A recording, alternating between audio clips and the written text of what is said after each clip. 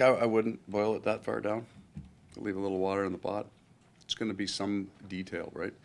I think the outstanding goaltending, active, mobile, at times physical blue line, and then a good spectrum of players, of forwards, the elite skill guys, the heavy guys, lots of intensity. We, I'll go back to what I think this is going to feel like is what I said last yesterday. We, we got into one of those crazy games where we put nine on them and they never quit playing, and they got five on us in a, like the shortest period of time possible. We never quit playing in that game, and I think that's what the the body of this series is going to look like. There won't be momentum. It may feel like it's, oh, they're going now, but there's not going to be momentum because the puck drops and they're going to go tooth and nail right after it every, every time. So, but that's going to make it really good. This is the series I'd be watching. Like if I was a, a fan or I'd, I'd watch this series. We, you, you talked earlier, a couple weeks ago, like, you had your top six pretty much figured out, then your top nine. Now, do you feel pretty confident going in that you've got the four lines that's ready to go for game one? Yeah, I mean, I've got, I've, I've got that set, but I don't think it'll stay at that. Even, even if, if we stayed completely healthy. You know, it's, there's, there's gonna be finding a different look at times, making adjustments to your penalty kill, a different player will come in and out. But we, we've been, since Barkov came back off injury, um, we, we've been pretty set with our lines. Do you like the way your top six looks with, Yeah, like, Yeah. I like where they are, and I, and, and I know there's a place I can go with them real fast. The first adjustment you, you're gonna make, you know, and you know why you would make it, so pretty flexible with that. These guys, these guys all have just played with each other, different combinations for two years, so I, I mean, there's no disruption on our bench when I, when I play around with the lines. one of those guys in the bottom six Lomberg, just the evolution you've seen from him over the last few years, what do you like the most? And also just with the back half of this last couple weeks, him moving in and out of the line, just how he's been able, how he's handled it after being an Yeah. everyday guy last year. Yeah, some of, some of that movement is that I know him, and I need to see other players that I don't know as well. Steve Lorentz kind of reinvented himself in the back half of the year with his speed and physicality, and then we added Kyle. So I wanted to see those guys, and that's some of that movement. I look at them as a group; they'll all bring something slightly different to the table, speed and physicality. Uh, but the speed, I think everybody is edgy. The game one, right? They're all wound up. Afternoon game, unusual start. So both teams going to try to play as fast as we can. So Lombo's, that's his, that's his calling card. Obviously, you guys clinched a while ago. You didn't know seed and opponent until just a few days ago, but Yeah. you've been waiting for game one for a while. Yeah. It's Kind of a fortuitous break that you get to wake up, have a coffee, and then there's a game at twelve thirty instead of waiting around all day for it. Yeah, I'd, I'd, I'd play every game at one o'clock, given the choice, right? And then you can have the game done and edited by the end of the night. It's a perfect, perfect life, right? Um, yeah, I, not too much time to think. We got a little bit of experience from last year, and you know, the, before I got here, this team's been in the playoffs for a few years. Clearly, Tampa's got lots of experience on their side. Both teams can be nervous and edgy, but not. I, I- think both coaches probably would feel pretty confident about how we're going to look. We don't- I'm not talking about the result, just I've seen us play enough playoff hockey that I know what we look like, and John certainly has seen his team play a lot. Yeah, uh, depth in the playoffs, rolling all the lines is very important.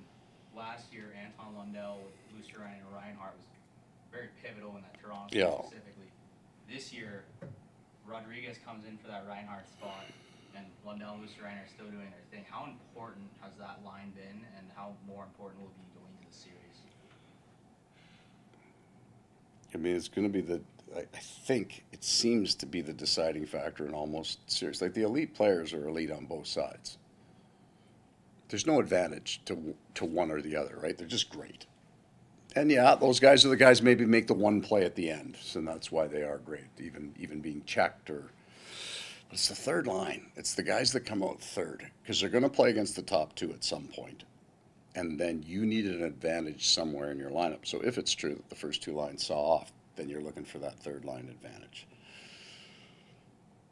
You know, Eetu was had gone from fourth line center to third line left wing last year and, and then moved heavily into our penalty kill and Anton was rolling into his second full year in the NHL. He had been scratched in the playoffs the year before, so he was new. we all know what now, especially everybody else knows what Sam Reinhart can do to a line and means to them. But Evan's got speed, so I'm gonna put a lot of pressure on those guys tomorrow morning. Play Coach, well. you mentioned earlier that this was the, if you could watch a series, Yeah. be the one.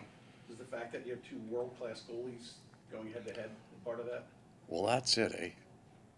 Which is awesome because I think I think in the Stevens season series, so eloquently put, um, I think their save percentage is under nine, uh, both of them head to head.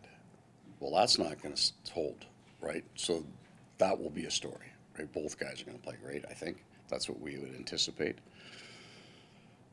I think it's because there's a great spectrum of what each team can do. We're a pretty good defensive team, but we can skate and we can score goals. They can defend too, whether whether it's the goaltender or their penalty killing. I mean, their penalty killing is in the top ten, so that tells you they can be a pretty good defensive team. Certainly, they can do that. They can score goals. They can skate. So, and it can get heavy too. There's guys that'll finish checks. There's a, there's a, a lot that could happen here on what the series looks. And I think we're going to see all of it. It'll be five minutes get real heavy, five minutes get real fast. I think it's going to be exciting as hell.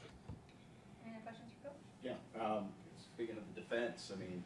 and What's what's what's FHN? Florida Hockey Now dot com. Nice plug, plug, sweet. Visit us And there. Columbus it's a baseball team. baseball team. You're covering it all, brother. Oh, boy. Are they paying you too? No. Okay. I'm just a Didn't need to bring that up, fan. but they might be tomorrow. Who knows? Go Clips. Um, ring them bells. Um, you guys gave up the, you, you and Winnipeg tied for fewest goals allowed. Yeah. Um, given up. Just talk a little bit about how the defense for your team has evolved. I mean, to, to, to not only on the penalty kill, but just all, or you know, five on five, you guys are as tough as any. I, I think. Well, I think our forwards, our forwards brought back the, the style of game from the back half last year in the playoffs. So it was pretty much even. We, I would say, we picked up where we left off. But then you have to look at what, what Bill and his staff did. We lost two defensemen, had two defensemen go to, down to injury, but we, we brought three NHL defensemen into our lineup. The biggest weakness that we had last year was our penalty kill. And Kevin Stenlund and those defensemen have righted that and, and again got it into the top 10. So a lot of our solid defensive game came from Mika and Larsson and Kulikov coming in, and, and we were able to hold water with the two defensemen that went down, and then we had to re, you know, we had to live it again when, when Aaron went down again. So we, management brought in some really good defenders, and that, and that's what allowed us to survive it. And last one for me, just last year in, in the playoffs, we saw Matthew Tkachuk, his star kind of ascend. Um, Yeah. You see that in the postseason sometimes, right, guys? Just Jimmy Butler from the Heat, Matthew Tkachuk of the Panthers, just they seem to, To get the, Love thr- the spotlight. the thrivers. yeah. right? The the energy guys. So what uh, what I would say about that with Matthew though is what you didn't see was he did that this year. He came off that injury and he wasn't right. Like he just couldn't do anything all summer long, so it took him a while to get up to speed. But in the games that were critical for us, either getting out of the we, had we had three blocks where we didn't play particularly well. Getting out of those blocks and in between the first and second period and on the bench in the second period at the start of the second period of the last game, just because we could finish first potentially. He elevated his game in all of those spots. You just wouldn't have been as noticeable because it's not a seven-game playoff series, and he scores the you know the overtime winner and those kind of things. Um, he he's he's matured like his game in such a good way, right? Right. I think I think about mid January, early January last year, he stopped taking penalties, except for when his brother came to town. Then it was on. But when if it wasn't Ottawa, he didn't take any penalties, and, he, he's almost continued that. So he, he didn't score at the start of the year. People will look at the number at the end and say, well, he didn't have as good a year. He's a much better hockey player for us this year than he was last year, and he's pretty good last year. So I would say if he if yeah if he's if he puts up great numbers again, it'll just be a continuation. If he plays the game that he's playing for us right now, he's going to be a better player for us than he was last year in the playoffs. But he was certainly it'd be hard to be more dramatic, and I'm for it though. If he wants to throw that into, he's yeah, there's no handcuffs on him. Coach, looking at tomorrow, obviously the whole building kind of transforms from regular season to playoffs. The energy goes up, twenty thousand people in the Yep. building. Players talk about how they look forward to that, how they feed off that, how that kind of changes the game. As a coach, just what does a change in atmosphere do for you, and do you and your guys feed off it at all? I think it's more true for us, possibly. It's a theory. Because when you play, you get to burn energy. You get to get out, you know, you're wired and you just get a hit, get hit, something. You're in the game and then your focus narrows and you kind of shut all that out. And we would say that, you know, during the game, you're trying to pick up matchups, you're trying to do a bunch of things and you do, you, you narrow it out. Making the playoffs is hard. And when you look at this, you know, there's a small number of teams on long consecutive year runs. So, and then when you get a little older, and you coach a lot of games, uh, I'm, uh, what I'm, I'm stalling right now to phrase this the proper way. Sometimes the regular season can get a little dull, is what I'm trying to say. It's a grinder. It's not the playoffs. It's all of the good stuff. It, it's like you don't have to eat your vegetables, right? It's just the good stuff that you want, no vegetables, right? But I like vegetables. So you know what I'm talking about. It's Christmas morning, right? Like you don't have to wait till dinner to, yeah. It's the best motivating your team. How am I going to get these guys going tonight? Well, that's done. Right now, I'm just going to make sure I keep them all flying in the same direction. So all of the maybe the grinding things, the the pulling teeth, the motivating, scratching guys, all the stuff, the machinations that you got to do to to mold the team to get through 82. Well, it's done. You're here, and now you get to have some fun. Thank you, everyone. Thanks so Okay. much. See you guys. One more, just